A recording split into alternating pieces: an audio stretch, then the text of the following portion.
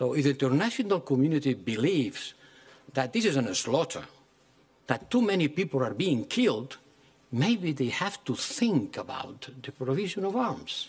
And by the way, today a court in Netherlands has said, has ordered to the government to stop exporting the spare parts of the F-35 fighters to Israel.